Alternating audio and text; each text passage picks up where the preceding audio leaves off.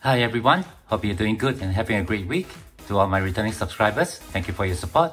And to all our viewers and those recently subscribed, thank you and welcome to the channel. So the silver spot prices took a massive dip yesterday. We've been seeing it going up over the first two weeks of August, but it's been steadily uh, dropping, uh, moving on a downward trend during the later part of the month. In fact, uh, the prices now, at the time of this video recording, is even lower than the last recorded low on the 26th of July of this year. That was the last time that I bought silver here in Singapore, and while I was happy that silver prices was trending upwards in August, I just couldn't waste the opportunity with the prices so low now. So with that in mind, I went ahead to uh, visit a BullionStar Singapore again, and I added another 6 more ounces of the Merlion rounds to my stack. All these Merlions here are from Sichuan Tianze and they are the lowest premium Merlions that I have since I started stacking them over this last year. For this video, I'm gonna get these Merlions into the capsules and I'm gonna add them to my stack. Then we're gonna end this video by talking a little bit about the silver spot prices and the trend for these Merlions during my stacking journey uh, this past year.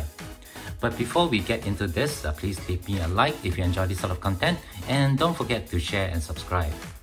So let's get into it.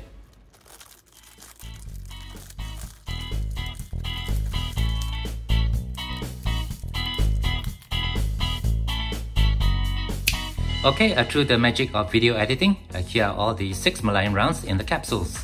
I would have preferred to have the RMC rounds. Unfortunately, uh, BullionStar didn't have those uh, in stock, and the only ones that I have were these uh, Sichuan Tianze.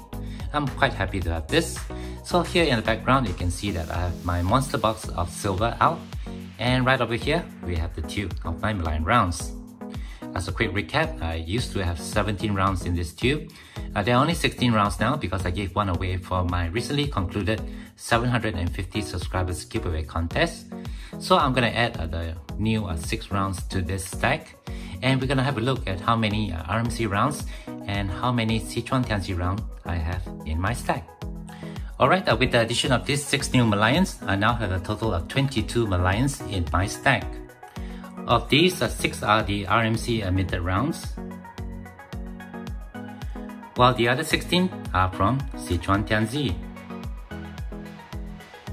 Alright, uh, with the counting out of the way, let's talk a little bit now about my Merlion buying history over this last year.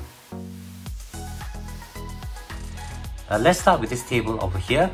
And on it, uh, you can see that I started my Merlion buying journey in November of 2021. And currently, we are in September of this year. Uh, there was a break in between the buying, uh, between uh, December to June of 2022, uh, because silver exploded and reached a high of 36.50 of Singapore dollars in March of this year. From this table here, we can also see that silver has been on a downward trend and in my opinion, uh, it's a great opportunity for me to add more weight to my silver stack. Uh, we can also see in this table that uh, while silver has been dropping in value, the premium asked by BullionStar of Singapore has been uh, fairly consistent, which is around uh, 6 Singapore dollars.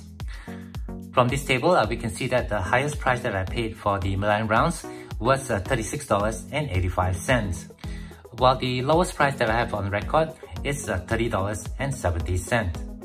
My previous uh, dollar cost averaging for my Silver Merlion round was $34.25.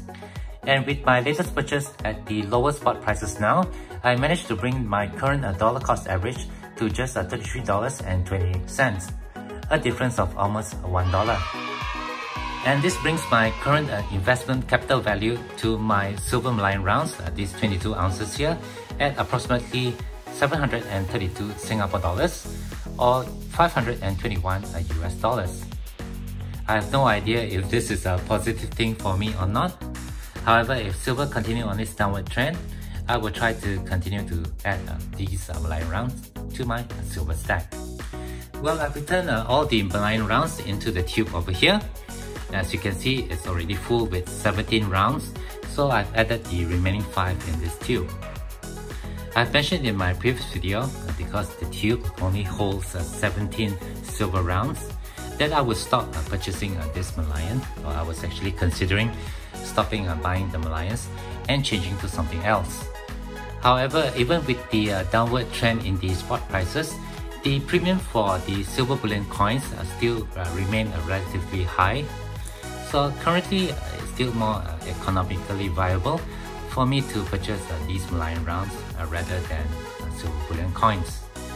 let me know what you all think about this and what are your silver stacking strategy moving forwards. leave your comment in the comment section below and share that with all of us here. Well, with that, I guess that's going to do it for this quick video. thank you very much for watching. Hope you all uh, weren't uh, too distressed learning about my silver stacking strategy and that perhaps I'm doing uh, something right, uh, stacking all these metals in my investment portfolio. If you do have any questions or comments, uh, please leave them below. Otherwise, uh, don't forget to leave me a like if you enjoy this sort of content and be sure to hit that share and subscribe buttons down here if you have not done so. As always, from all my friends here, you all please take care, be safe, and have a nice day.